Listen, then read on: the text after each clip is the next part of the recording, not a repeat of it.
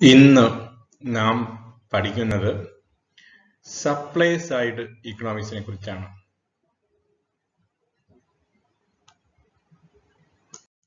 ആയിരത്തി തൊള്ളായിരത്തി എഴുപതുകളിൽ ലോകം ശ്രദ്ധിച്ച ഒരു ഇക്കണോമിക് ഫിനോമിനാണ് സ്റ്റാഗ്ഫ്ലേഷൻ സ്റ്റാഗ്ഫ്ലേഷൻ എന്ന് പറഞ്ഞാൽ low level of output high level of unemployment അതോടൊപ്പം തന്നെ ഇൻഫ്ലേഷൻ അല്ലെങ്കിൽ വിലക്കയറ്റവും.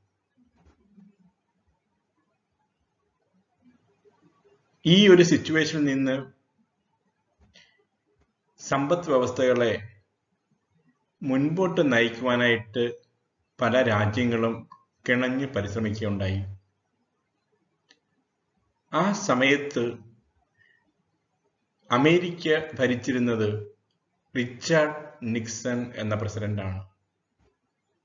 അദ്ദേഹത്തിന്റെ സാമ്പത്തിക ഉപദേഷ്ടാവ് ആർദർ ലാഫർ ഈ സ്റ്റാഗ്ഫ്ലേഷൻ ഓവർകം ചെയ്യുന്നതിന് മുൻപോട്ട് വെച്ച സാമ്പത്തിക നയത്തിനാണ് സപ്ലൈ സൈഡ് ഇക്കണോമിക്സ് എന്ന് പറയുന്നത്. എന്ത് ആണ് അദ്ദേഹം മുൻപോട്ട് വെച്ച സാമ്പത്തിക നയം? സപ്ലൈ സൈഡ് ഇക്കോണമിസ്റ്റുകൾ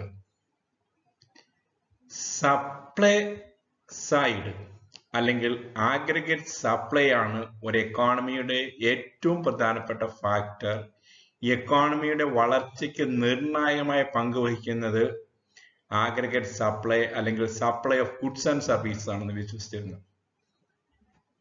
ഒരു എക്കോണമിയുടെ production of goods and services വർദ്ധിക്കുമ്പോഴാണ് economy വളരുന്നത്. അത് വർദ്ധിപ്പിക്കണമെങ്കിൽ ബിസിനസ്സുകാരെ പ്രോത്സാഹിപ്പിക്കണം.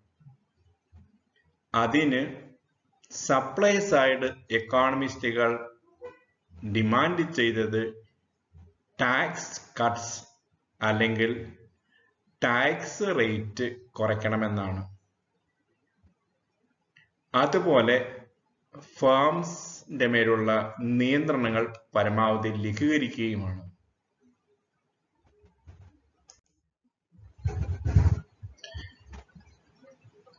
എന്തുകൊണ്ടാണ് അവർ ടാക്സ് കട്ട്സ് അതുപോലെ തന്നെ റെഗുലേഷൻ കുറയ്ക്കണമെന്ന് പറഞ്ഞത്? അതിലൊന്നാമതായിട്ട് അവർ മുൻപോട്ട് വെച്ച ആർഗ്യുമെന്റ് ഇതാണ് ടാക്സ് അതിന് ഒരു ഡിസ്റ്റോട്ടിങ് ഇഫക്റ്റ് ഉണ്ട്. അത് എക്കോണമിയിലെ ബിസിനസ്സുകാരെ നിരുത്സാഹപ്പെടുത്തുകയും എക്കോണമിയെ ഇൻഎഫിഷ്യന്റ് ആക്കുകയും ചെയ്യും. ഇങ്ങനെ ഒരു സാഹചര്യത്തിൽ ടാക്സ് കുറയ്ക്കുകയാണെങ്കിൽ അത് എക്കോണമിയെ കൂടുതൽ എഫിഷ്യന്റ് ആക്കാൻ പ്രാപ്തമാക്കും എന്ന് ഈ എക്കോണമിസ്റ്റ് വിശ്വസിച്ചിരുന്നു. സപ്ലൈ സൈഡ് ഇക്കണോമിക്സിനെ നമുക്ക് നാല് സ്റ്റെപ്പിലൂടെ മനസ്സിലാക്കാം. ആദ്യമായിട്ട് അവരുടെ ആർഗ്യുമെന്റ് ഇതാണ് ഒരു എക്കോണമിയിലെ കോർപ്പറേഷൻസ് അതുപോലെ ബിസിനസ് സ്ഥാപനങ്ങൾ എന്ന് പറഞ്ഞാൽ ഗുഡ്സ് ആൻഡ് സർവീസ് പ്രൊഡ്യൂസ് ചെയ്യുന്ന സ്ഥാപനങ്ങൾ അവരാണ് എക്കോണമിയുടെ ഗ്രോത്തിനെ നിർണയിക്കുന്ന ശക്തികൾ. അതുകൊണ്ട് തന്നെ ഹൈ ടാക്സേഷനിലൂടെ അവരുടെ പ്രോഫിറ്റ് എടുക്കുന്ന രീതി ഗവൺമെന്റുകൾ ഉപേക്ഷിക്കണം. അങ്ങനെ ഉപേക്ഷിക്കുമ്പോൾ ഈ പ്രോഫിറ്റ് റീഇൻവെസ്റ്റ് ചെയ്യുന്നതിനും കൂടുതൽ ക്യാപിറ്റൽ സ്വരൂപിക്കുന്നതിനും ഫാംസിന് കോർപ്പറേറ്റുകൾക്ക് സാധിക്കും. ഇങ്ങനെ ഇൻവെസ്റ്റ്മെന്റ് സ്റ്റിമുലേറ്റ് ചെയ്യുമ്പോൾ അത് എക്കോണമിയിൽ കൂടുതൽ ഗുഡ്സ് ആൻഡ് സർവീസസ് പ്രൊഡ്യൂസ് ചെയ്യുന്നതിന് എക്കോണമിയെ പ്രാപ്തമാക്കും. അങ്ങനെ വരുമ്പോൾ ടാക്സ് കട്ടിലൂടെ ടാക്സ് റേറ്റ് കുറച്ചതിലൂടെ ഗവൺമെന്റിനുണ്ടായ നഷ്ടം കൂടുതൽ കൊമോഡിറ്റി പ്രൊഡ്യൂസ് ചെയ്യുന്നതിലൂടെയും കൂടുതൽ എംപ്ലോയ്മെന്റ് ജനറേറ്റ് ചെയ്യുന്നതിലൂടെയും ഉണ്ടാകുന്ന ചെറിയ ചെറിയ ടാക്സിലൂടെ പരിഹരിക്കപ്പെടും. ഇനി ഈ സപ്ലൈ സൈഡ് എക്കോണമിസ്റ്റുകൾ എങ്ങനെയാണ് ഡിമാൻഡ് സൈഡ് എക്കണോമിക്സിൽ നിന്ന് വ്യത്യാസപ്പെട്ടിരിക്കുന്നത്. ഡിമാൻഡ് സൈഡ് എക്കോണമിസ്റ്റ് എന്ന് പറയുമ്പോൾ പ്രധാനമായിട്ടും നമ്മുടെ മനസ്സിലേക്ക് വരുന്നത് ജെ എം കെയ്ൻസ് ആണ്.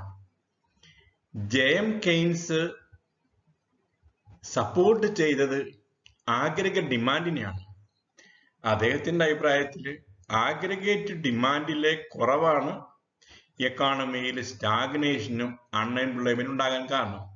അതുകൊണ്ട് ആഗ്രഗേറ്റ് കൂട്ടാനായിട്ടുള്ള ശ്രമങ്ങൾ ടാക്സ് കൂട്ടി അതിൽ നിന്ന് കിട്ടുന്ന വരുമാനം ഉപയോഗിച്ച് കൂടുതൽ പബ്ലിക് വർക്ക്സ് നടപ്പിലാക്കുക.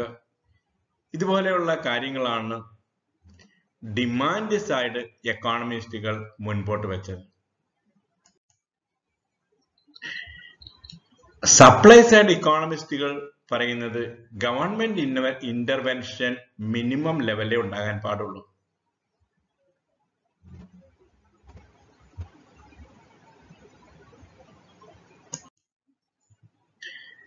ഇനി ഒരു ലാഫർ കേർവിന്റെ സഹായത്തോടെ ആർദർ ലാഫർ ഒരു എക്കോണമിക്ക് പരമാവധി ചുമത്താവുന്ന ടാക്സ് എന്താണെന്നും അതിനുശേഷം ടാക്സ് റേറ്റ് കൂട്ടിയാൽ ഉണ്ടാകുന്ന ഭവിഷ്യത്തുകളെ പറ്റിയും അദ്ദേഹം കാണിക്കുകയുണ്ടായി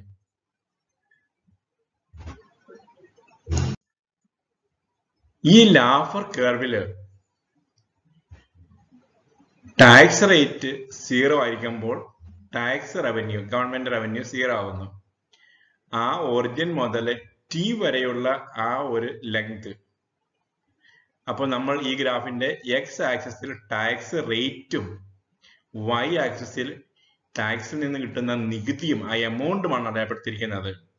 ഇപ്പോൾ ടാക്സ് റേറ്റ് എന്ന് പറയുമ്പോൾ അഞ്ച് ശതമാനം പത്ത് ശതമാനം അങ്ങനെയുള്ള ടാക്സ് റേറ്റ് അപ്പോൾ ആ ഒറിജിൻ മുതൽ ടി വരെ ഉള്ളപ്പോൾ അങ്ങനെ ടാക്സ് റേറ്റ് കൂടിക്കൊണ്ടിരിക്കും. അത് അഞ്ച് ശതമാനമാകാം പത്ത് ശതമാനമാകാം. അങ്ങനെ നമുക്ക് ടി എന്നുള്ളത് ഒരു ഇരുപത്തഞ്ച് ശതമാനമാണെന്ന് ഇരിക്കട്ടെ. അപ്പോൾ ആ ഇരുപത്തഞ്ച് ശതമാനം വരെ ടാക്സ് കൂട്ടുമ്പോൾ ടാക്സ് റേറ്റ് കൂട്ടുമ്പോൾ അത് എക്കോണമിയുടെ ഔട്ട്പുട്ട് സോറി ടോട്ടൽ റവന്യൂ വർദ്ധിപ്പിക്കാനായിട്ട് കാരണമാകുന്നു. ഇരുപത്തഞ്ച് ശതമാനത്തിൽ ടാക്സ് റവന്യൂ മാക്സിമത്തിലാണ് വീണ്ടും ഇരുപത്തഞ്ച് എന്നുള്ളത് മുപ്പത് മുപ്പത്തഞ്ച് നാൽപ്പത് അങ്ങനെ ടാക്സ് റേറ്റ് വർദ്ധിപ്പിക്കുമ്പോൾ എക്കോണമിയിലെ കുറെ പേർക്കെങ്കിലും എന്തിനാണ് ജോലി ചെയ്യുന്നത് എന്തിനാണ് ബിസിനസ് ചെയ്യുന്നത് അത് ചെയ്തിട്ട് എന്ത് കാര്യം കിട്ടുന്ന ലാഭത്തിൽ ഒരു നല്ല ഭാഗം ഗവൺമെന്റിന് കൊടുക്കേണ്ടേ? ഇങ്ങനെ ചിന്തിച്ച് ബിസിനസ് ചെയ്യാതെ വരും. അപ്പോൾ അതുകൊണ്ട് ഒരു എക്കോണമിക്ക് ടാക്സ് റവന്യൂ വേണം അതോടൊപ്പം തന്നെ ബിസിനസ്സുകാരെയും വേണം. ഇത് രണ്ടും കൂടെ നിർവഹിക്കുന്ന ഒരു റേറ്റ് ഫിക്സ് ചെയ്യുകയാണ് നല്ലത് എന്നാണ് ഈ ലാഭർ കർവിലൂടെ കാണിക്കുന്നത്. ഇനി ഈ ലാഫർ കർവിന്റെയും സപ്ലൈ സൈഡ് എക്കണോമിക്സിന്റെയും സ്വാധീനം വളരെ വലുതായിരുന്നു. ഈ സപ്ലൈ സൈഡ് ഇക്കണോമിക്സിനെ പ്രൊമോട്ട് ചെയ്ത സാമ്പത്തിക ശാസ്ത്രജ്ഞന്മാരാണ് Paul Craig Roberts Bruce Bartlett Milton Friedman Robert Mundell. ഇവരുടെ എല്ലാം സപ്പോർട്ട് അവസാനം അന്നത്തെ അമേരിക്കൻ പ്രസിഡന്റ് റൊണാൾഡ് റെയ്ഗൻ ഒരു സപ്ലൈ സൈഡ് ഇക്കോണമിസ്റ്റ് ആണെന്ന് പ്രഖ്യാപിക്കാനും കാരണമായി തീർന്നു. റൊണാൾഡ് റീഗന് ശേഷം വന്ന എക്കോണമിസ്റ്റുകൾ George W Bush Donald Trump ഇവരെല്ലാം സപ്ലൈ സൈഡ് ഇക്കണോമിക്സിനെ നടപ്പിലാക്കിയവരാണ്.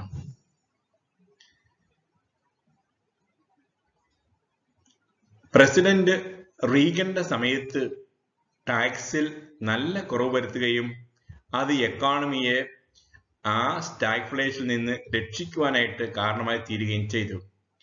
പിന്നീട് വർഷങ്ങൾക്ക് ശേഷം ജോർജ് ഡബ്ല്യു ബുഷ് വീണ്ടും ഈ ടാക്സ് കട്ട് നടപ്പിലാക്കുകയും അത് വീണ്ടും അമേരിക്കൻ ഇക്കോണമിക്ക് ഒരു ഉണർവ് നൽകുകയും ഉണ്ടായി അവസാനമായിട്ട് ഈ സപ്ലൈസ് ആയിട്ട് ഇക്കണോമിക്സ് അപ്ഹാൽഡ് ചെയ്തത് ഈ ഇപ്പോഴത്തെ പ്രസിഡന്റ് മുൻപുണ്ടായിരുന്ന ഡൊണാൾഡ് ട്രംപ് ആണ് അദ്ദേഹം ഈ സപ്ലൈഡ് സൈഡ് ഇക്കണോമിക്സിനെ അത്ര കണ്ട് വിശ്വസിച്ചു അതിനാൽ തന്നെ അദ്ദേഹം ഇതിന്റെ ഉപജ്ഞാതാവായ Arthur ലാഫറിനെ medal of freedom highest civilian ഓണറാണ് ആ മെഡൽ കൊടുത്ത് ഓണർ ചെയ്യുകയുണ്ടായി.